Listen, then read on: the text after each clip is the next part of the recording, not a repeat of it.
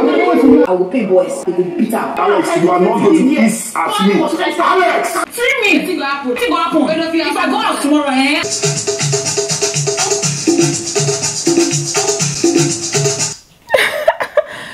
you guys, you see this house? I don't know whether they usually have secret meetings and tell themselves, what did we do last Saturday? We need to top that because it looks like every Saturday there must be drama. And yesterday, I mean, uh, last night, I mean, this morning was no different. Who am i? I'm here to give you guys all the tea all the gist. Welcome back to my channel guys. If you are new here please do to subscribe turn on your post notifications so that you can get notified each time i post a brand new video and do not forget to give this video a thumbs up so beginning with the party we had dj yc in the building and the way the guys stepped into the party hall was so hot with their outfits they were looking so so good i was like damn are those our guys right and then big brother did not allow the ladies into the party hall because they were late. They were busy dressing up for the longest time and then at the end of the day we had just Tolani Baj that was able to meet up on time. So she partied with the men, with the guys and then um, Adekunle was the only guy that did not enter. So he was with the ladies, Tolani Baj was with the guys. But at the end of the day, the party still ended up being pretty fun because we had Whitemoney and Cross to entertain us this was an avenue for them to show the full extent of their craze because what I was seeing on the dance floor was full-blown craze. Whitemoney and Cross took it to another level. And another thing I found that was nice from this particular party is the fact that they were able to get the appropriate skin, emphasis skin time, the appropriate, um, hey, hey, Anita, calm down. You're so excited. I don't know why I'm this excited, but they were able to get the appropriate screen time unlike last week saturday where they were moving the camera every two seconds. And then tolani baj obviously she had she had neo all to herself. So she had a good time you know they hugged they moved from one place to another. I expected more from them sha like um the fact that they were just there together. But she actually um, vibed with the other guys danced with whitemoney at some point. So it was it was actually a cool party except for some people that refuse to stand up and dance. Like you guys are the only ones at the party. Why not stand up and dance? Why are you sitting down? You guys are the only ones that are supposed to entertain us. But Shay did not stand up throughout. Um, thank you, Whitemoney and Cross, for making the party fun for us. Then for the after party, which is where all the drama happens, we had Tolani Baj and Neo. First of all, I told you guys I'm going to share a particular video, the video of a video of um, CeeC and Alex. They were put in the same scene earlier on, and they were laughing and smiling and having a very good time. Um, CeeC has also reconciled with Whitemoney. So, but for CeeC and Alex, I promised you guys I was going to share that video.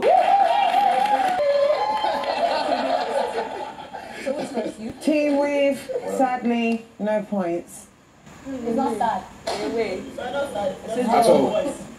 I am a select shipper. So uh, moving on, as I was saying, Tolani Baj and Neo, they were having a conversation and Tolani was just telling Neo that if Ilebaye talks to him this night, if she calls his name this night, she's going to embarrass her. That if that's the reason she's going to fight on this show, that she's going to actually fight, I say, ah. For her to have the audacity, I know I'm going to get off tonight. tonight. If, if she says your name completely, I will embarrass her. If I have to fight on this show, that's the one that I will. And I don't want you to say she. So, um, after the party, Cross entered into the house with some drinks for the ladies. And guys, um, Kiddwaya, Neo, Pere, they were asking him for this drink. Oh, and Cross was telling them that see people drank inside the party hall. This is for the ladies. Why are you still wanting to drink from here? And then, then um, and then now shout, then I started shouting back and forth, give us a drink, bring that drink. And then Cross, after some time, he ran away with the drinks.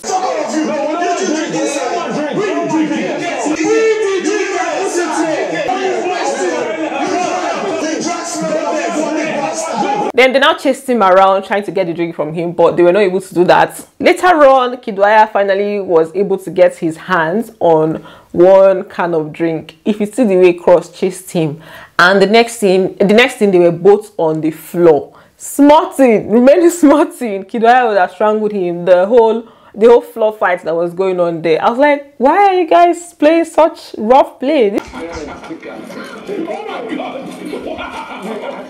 Did you guys do?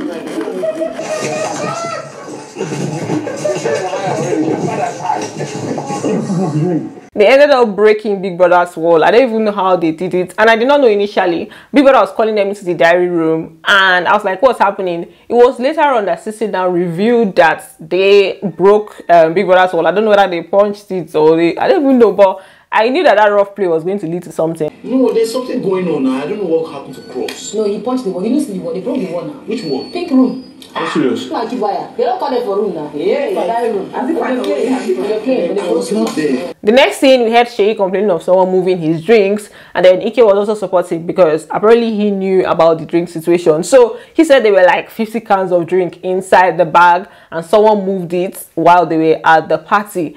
And Cross now said that uh, that it might have been Angel that this is something that she can do.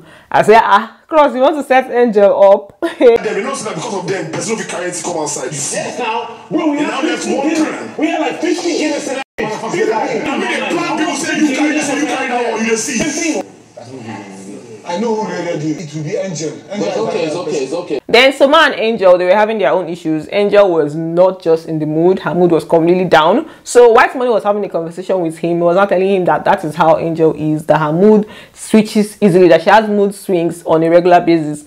He now told him, let him go and call somebody that is more experienced to give him updates, tell him about Angel. Cross now came and was telling him that Angel's mood is like Jangolova, that he goes up, he goes down. She's not a video. It's a mood. It's a mood thing. Why should she be acting like that? Angel has mood swing.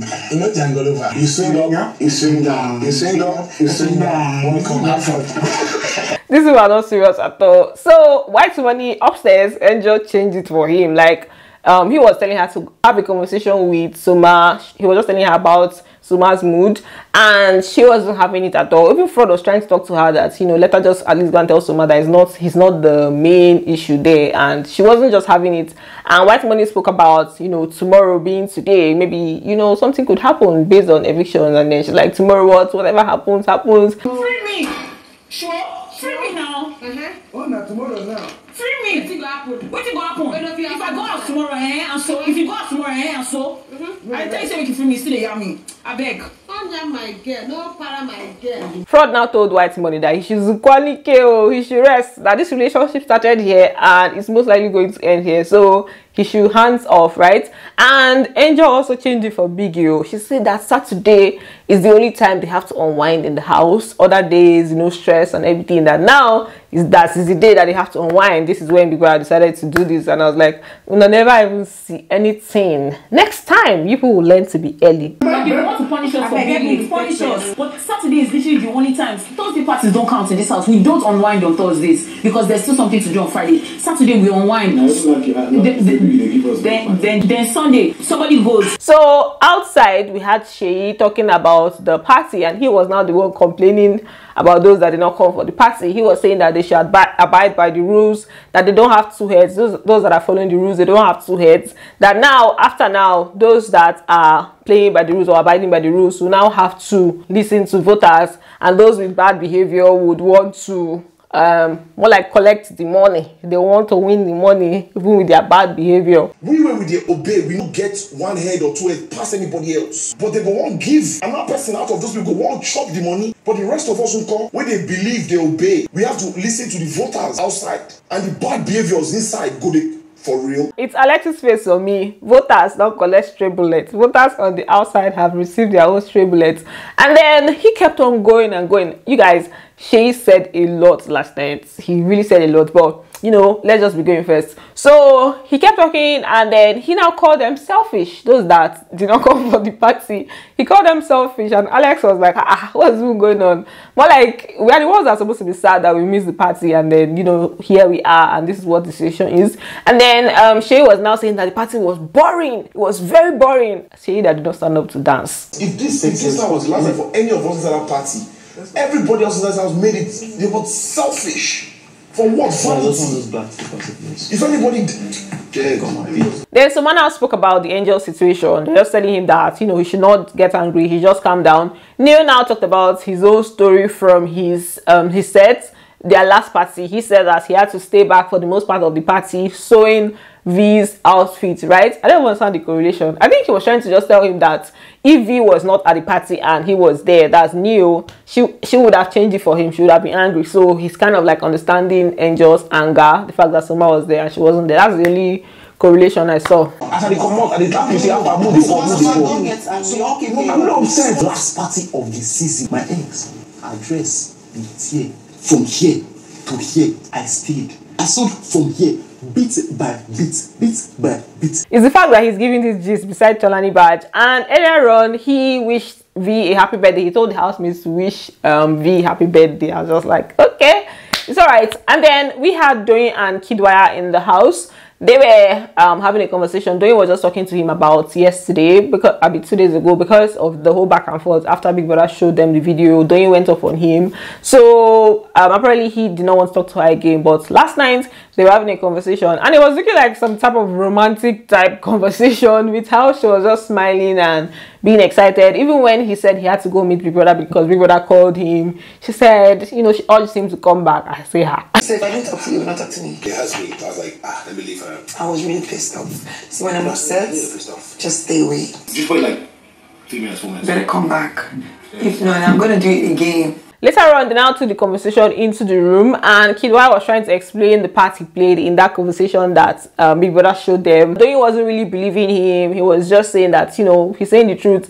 And af- after some time, she like agreed with him and everything. Um, well, he said let him go and call um Perez so that Perez can also back him up. Though he said he should not call Perez. She even begged him, say she literally begged not to call Perez. That this conversation is both of them. Let's plan No, I didn't hear you say that. Mine was I'm only for the I don't have time for all this plan for for what. If I leave, I leave. I don't plan for small. Yeah, you keep saying that, but you keep you keep running around this house like a Once chicken. it the law, you should move better than that. And then he called Perry and he came into the room. They were now explaining different things as regards that um, situation and that gathering. And you guys, Perry was just lying. Perry said that what he said that day was that if Ilebaye is not careful, she's going to get, um, she's going to push herself to get another strike. Though he now said that that's not what she heard, she now corrected him, and then he now um, agreed with her. And though he was not even correct. She's not careful. She'll push herself to get one more strike. Is that what you said? The what I heard you say was, I hope she gets one more strike. I did say I hope she gets one more strike. Listen, the costume edited that shit. Perez said that they edited it. Um, it's not a small something. What he said exactly was that we need to set this B up to get another strike. That's exactly what he said. Not that he's hoping or anything. He said that they need to set her up. So, oh well, that's that was just what he said, right? So they were now talking about the um, Ike situation and Kiddwaya and Perry. They were saying that they actually told um, Ike that what he did wasn't right, and they also mentioned that, but you know, he was also triggered. He was angry based on happenings from before, and Ike now started talking about how he doesn't care that Big Brother, Big Brother gave him a strike because he's a guy that somebody has scattered somebody's clothes before in the house, and Big Brother did not give the person a strike. That's because he's a guy that is doing that, that he doesn't care. That in fact, he has been wanting to get strikes since he came. Don't you know? Told him, oh yeah, nah, do more things. Somebody else carried somebody else walker. It's not the reason. No, but Somebody that was carried based on emotional reasons. That's when it happens, you different. get cash strike. Big money won't punish me because I'm a boy. I don't care. God, I've been waiting to catch strikes since for first day. I don't give a f- I'm saying. It has to be. It has to be down. Then do it two more times, then so you get two You, more you know like you. So Ike was now saying that he likes doing more like that's the reason why he's not coming for her. Doyin was now saying that he should come for her and that she should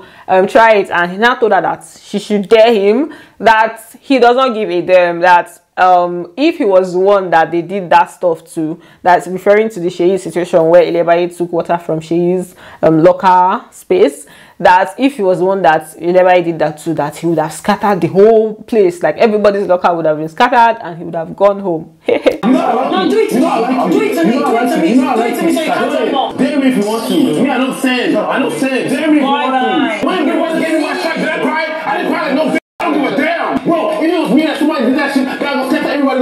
Go home. So Doyin was now saying that Ilebaye did not have issues with Ike, so it wasn't really, it really did not have anything to do with him per se. So what was that? And then Ike was still paranoid at this point, still talking and saying that she thought his friends thing that, in fact, um, anybody is a target that is looking for a target. That anybody is a target. Like he was just shaking and vibrating and just saying he's looking for a target. Anybody is target. I say ha. Abaye did not have any issue. Yeah, but she talked to my friend's shit. Any small thing, I go back to this house. I'm looking for a target. Anybody is a target. You know who I'm gonna be now. So you guys, the matter now entered gear 1000. Ike was saying, is that you're his friend or his enemy? Doyin now said, yeah, I can be, you can make me your enemy and you know, there's nothing you can do. I'm not scared of you. Ike said, that's you're scared of me. Um, Doyi now said, do your worst. At this point, they were standing and literally going at each other. Um, Kiddwaya was trying to block the situation from getting really serious, but it got really heated up. You're my friend or you're my enemy. That's it. No, if you want me to be your enemy, that's fine. You know what she did? You can You do know it to my shit. Do it to my shit. did? You know what you do? I'm not gonna do to your shit. I'm gonna do it to you. I'm gonna do it to you and not your shit. Your shit. You are scared. You are scared. You are scared. You are scared. Then after some time, Doyi now left the room. Ike now went to the other room. He was now telling Venita and Adekunle what had just happened. And Adekunle was now telling him that he overheard CeeC and Doyin having a conversation where CeeC was telling Doyin that something is going to happen amongst the guys this night. So he should not give in to anything. So he was not saying that he's ready, that he came to this house to even catch a strike. That strike is the name of his brand. That in fact, if Big Brother does not give Doyin a strike tomorrow that he's biased, that Doyin told him do your worst. She said, I want to target her. She's fucking I don't If Big Brother give her strike tonight, I'm gonna say his house is a biased house. and She said, do your worst. She told me. They don't do anything. I came here ready to catch strike. Now strike be my brand. Do you get? Don't talk to me. So Doyin is supposed to get a strike for saying do your worst. Okay, it's alright. Meanwhile, we had CeeC outside with Neo. She was reporting Ilebaye to Neo. She told Neo that Ilebaye called his name while she was with Cross, right? Which is what Ilebaye told her earlier on. Ilebaye told her that Cross came to hold her and she was like, leave me alone, Neo. So she called Neo's name and then CeeC was now telling Neo. Neo now told her that um Ilebaye is with Cross. That in fact, he just left where he just left them from now he saw them together and at this point is where Tolani Baj now walked in I was like yeah Her boyfriend knew this night. They call it cross deal. This one they call cross And name. it- She dey be cross now. No. She dey very. He call her new. That cause problem everywhere. When I left her just now, she don paint cross this thing with hydrogen, hydrogen peroxide But after you don't call her new. I just hope Tolani Baj did not decode what was being said there because Ilebaye is going to find herself outside Big Brother's house with her mattress, right? So um, the conversation changed at some point, and they now showed us Shay inside with Kiddwaya, where he was cautioning him, telling him that Ike is his brother, so he should more like sort things out with him. I was like, what's going on here? What was this question about? Kiddwaya was also confused, like, what's going on? And Shay told him that he's hearing his name inside the room um, and he's being painted as a villain. That's Kiddwaya. Kiddwaya now went in to sort things out with Ike. When he went in, Venita was with Ike, just counting numbers with him to kind of try to calm him down.